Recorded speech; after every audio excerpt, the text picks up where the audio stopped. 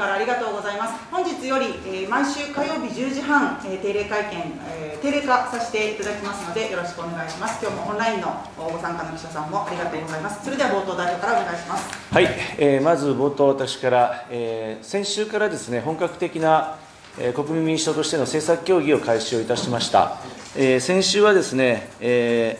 ー、経済政策の大きな全体的な方向性、そして待機児童問題、女性の自殺の問題、こういったものについて、取り上げています。まあ、特にあの女性女性に対してですね、このコロナの影響がより強く悪影響が及んでいるんではないのかという観点から、矢田和歌子参議院議員中心にですね、この問題には我が党としても積極的に取り組んでいきたいと思います。8月の自殺者数は、昨年の同月比で15%増えておりますけれども、男性が6%増なのに対して、女性が40%増、さらに30歳代以下の女性に限れば、74%増ということで、これ、異常な事態だと思っています。でこれコロナとの因果関係については、まあ、これから、えー、政府においても調査をするということですけれども、まあ、これをまとめるのが来年の春ということを伺いましたので、まあ、それでは遅すぎるので、我々としても、この因果関係を分析しながらですね、この女性に対するコロナの悪影響、経済的、精神的影響についてですね、速やかに分析をして、対策につなげていきたい、具体的な提案につなげていきたいと思っております。また今週はですね、前原衆議院議員が会長を務めます安保調査会、そして山尾志織議員が会長を務めます憲法調査会が今週開かれます。安全保障、まあ、憲法、まあ、こういったものに対して、我が党としての考え方をしっかりとまとめて、え出していきたいと思いますし、次の衆議院選挙の公約にもつなげていきたいと思っております。え次に、え日本学術会議の委員のまあ、任命が拒否された件についてであります。えー、昨日菅か、えー、菅内閣総理大臣が、えー、経緯を説明しましたけれども、えー、十分な説明になっていないと思います。えー、内閣委員会が衆参で開かれますので、えー、少なくとも官房長官からしっかりとした説明を求めたいと思います。でその中で、総合的、俯瞰的な観点からえー、まあ、今回、内閣総理大臣として判断したということですけれども、過去の日本学術会議の改革についてはですね、えー、中央省庁再編、えー、またその後もですね、えいくつかの改革が行われています。でその中で、特に委員の人選については、もともと選挙制だったものがですね、えー、いわゆるまあ学会等の推薦に変わり、え、さらにこれが、え、現在の委員によるまあ、いわゆるコープテーション方式という方式に2度変わっています。でそのまさに今の現在の委員による推薦方式に変わったときにですね、当時の国会で総合的、俯瞰的にやるために現在の方式に変えたという答弁がありますので、この今のその委員が選ぶ方式がですね、え総合的、俯瞰的ではないというのは、ま過去の答弁から比較をしてもですね、照らし合わせても矛盾があるのではないかなと思いますので、まあ、こういった観点について、しっかりとですね、改めて国会で説明を求めていきたいと思っています。で仮にですね、この独立性と中立性と、まあ、法律の3条に書かれている独立性ということが担保されないのであればですね、かつて議論されたように、より政府からの独立性を高めるために、えー、公益社団法人にするなど、まあ、いわゆるその民間組織にして、そこにしっかりとまあ財政的な支援をしていくといったような方式に変えていくことも含めてですね、この日本学術会議の独立性、中立性を担保するための抜本的な議論をやはりしていかなければならないと思いますし、我が党としても、こうした過去の改革の経緯を踏まえて、えー、具体的な提案も取りまとめていきたいと思っています。はい、以上です。はい、ありがとうございました。それでは質問を受けしますが、自民党の前よろしくお願いいたします。じゃあ、次どうぞ。えー、そして朝日新聞の本のはい。えー、団長あの今の学術会議に関してなんですが、はい、昨日の総理の説明ではですね、まさに前例踏襲で特別公務員であって、まあ、10億円の税金を使っているものだじゃあまあそういった説明をしてるんですが、これだとですね、6人を外した直接理由にはなってないと思うんですが、昨日のそのインタビューでそういった主要説明責任に果たしていると思うかどうか、そこについて率直なはいあのまあ、あの総合的、俯瞰的なあ総合学術会議にあすべきあ、日本学術会議にすべきだという提案はですね、かつてのさまざまな改革提案の中にも出てきます。私も日本学術会議はまさにあの総合的、俯瞰的、つまり特定の学会とかですね、非常にまあ縦割りの中の意見しか反映されないような組織ではなくてですね、こう俯瞰的に見ていかなければいけないというのはその通りだと思います。ただ、その観点から今のですね、えー、学会の推薦ではない、えー、いわゆるコープテンション方式というものを入れたので、あのそこは私、あの総理の説明は少し矛盾があるのかなと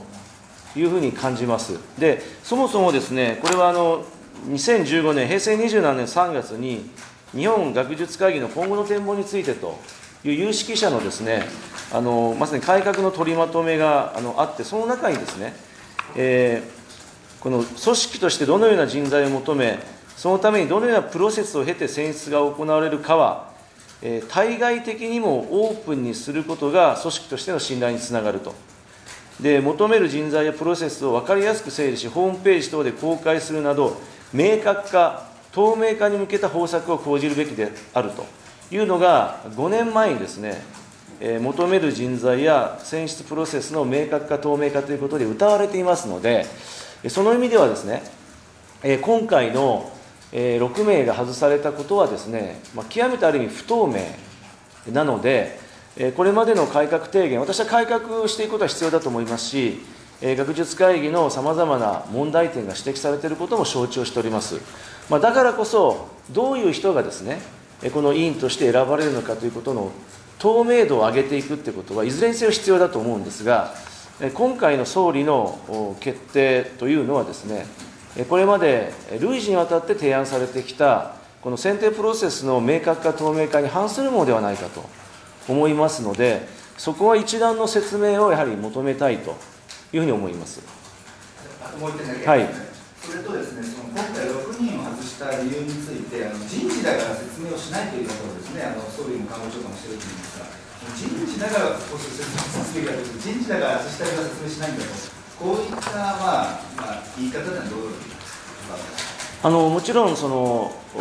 特別職の公務員ですか、その一定のまあ公務員的な地位があると。で予算がそこに流れているという観点から、まあ、民主的な統制というのは当然必要だと思います。ただ、一方で、その日本学術会議法においてはですね、まあ、第3条が典型ですけれども、やっぱり独立して職務を行うという、その独立性、中立性に対して、えー、極めて、ま、強い権限を与えているわけですね。で、それをもし、まあ、独立性についての疑いがあるようなことををするのであればですね、それ相応の説明責任が、それをする側に求められるので、例えば外すなら外すということで、私はそれは任命権限に関する一つの権限としてあるかと思いますが、その時は当然ですね、それに伴う説明責任が高度に求められるということになると思うので、説明しないということではですね、十分な説明責任を果たしたことにはならないと思います。で、先ほど紹介したように、2015年のこの有識者の、まあ、改革提言においてもですね、えー、選出プロセスの明確化、透明化ということは、これ求められているわけですから、あの入れるにしても外すにしてもですね、えその透明性ということは高めなければならないし、えー、残念ながらあの今回の菅総理大臣の対応についてはですね、えー、十分な説明責任がまだ果たされていないと私は思います。他いかがでしょうか。はいどうぞ。はい。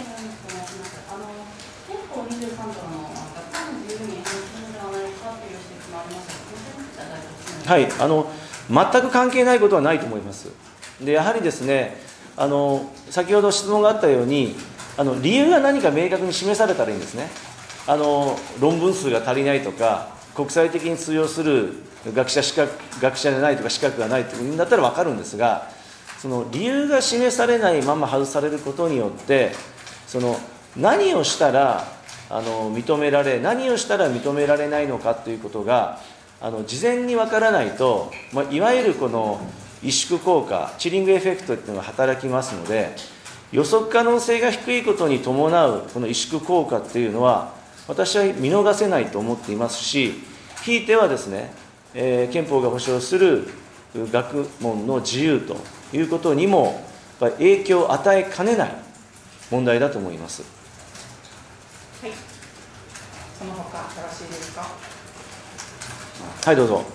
フランス店のおいはい。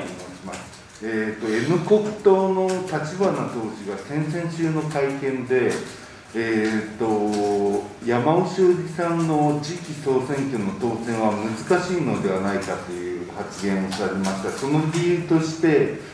えーと、先の参議院選挙で国民民主党が東京ブロックで、あ東京で取った比例の獲得票が20約27万で4点得票率にすると4.5%ということで衆議院の比例ブロック東京ブロックで当選するには5.0ないとあの当選できないのであの現状では難しいのではないかと言っていましたがその点についてどう思われるかはいあのご指摘を受け止めたいと思いますけれども、それも踏まえてですね、えー、山尾議員の当選に向けて、はい、我が党として戦略的に取り組んでいきたいと、そう思ってます。はい、ありがとうございます。はい、どうぞ。はい。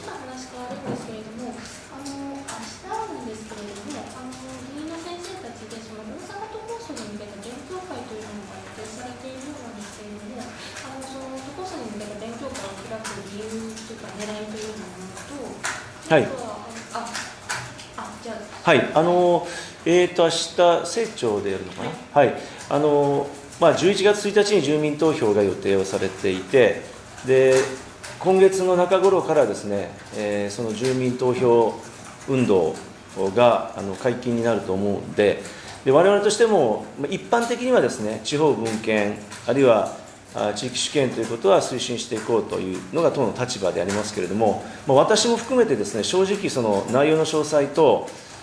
賛否を判断するにあたっての十分な情報も持っていないので、まあ、基本的には大阪のことは大阪の方が決めるということではありますけれどもただあのこれだけ、えー、注目されている住民投票でありますから、えー、我々、えー、所属議員としてもですねまず事実関係をしっかりとあの、まあ、勉強して、えー、判断の材料をですねしっかりと学ぶということが大事だということで、えー、開催するものだと承知しています。はい。基本的なこと言ってはい。勉強会と、はい、各調査会っていうのは、何かこれ、どういう違いがあるんですかえっ、ー、とですね、あのまず、政調の会議は、これから、まあ、今は国会開かれてませんけれども、えー、国会が開かれますとね、えー、政府提出法案についてのまさに賛否を役所を呼んでヒアリングをしたり、えー、その賛否についての情報収集したり、検討したりする場になると思います。で、調査会はそれとは別にですね、我々独自としての、独自の政策をま練り上げていく場、えー、主には次の衆議院選挙、参議院選挙などを意識したですね、我が党としてのある程度中長期の政策を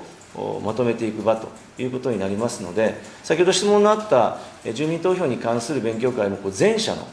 位置づけとしてですね、えー、我々としてま学んでいきたいということであります。はい、ありがとうございます。どうぞ。はい。今の大阪放送に関連して、はい、あの基本的に大阪のことは大阪で決めると。いうのご発言ありましたそうすると、党としても何か賛否を決めるわけではないですないし、外部としても何か賛否を打ち出すわけではないということですまだどのようにですね党として対応するかは決めておりませんけれども、ただ、決める大前提として、よく知らないので、やっぱそこはまず、あの事実関係、どういうことが問われようとしているのか、まあ、いわゆるまメリット、デメリットは何なのかということをあの客観的、中立的にしっかりと、そこは頭に入れたいと思っています。はい、それではよろしいでしょうか。今日もありがとうございました。はい、どうもありがとうございました。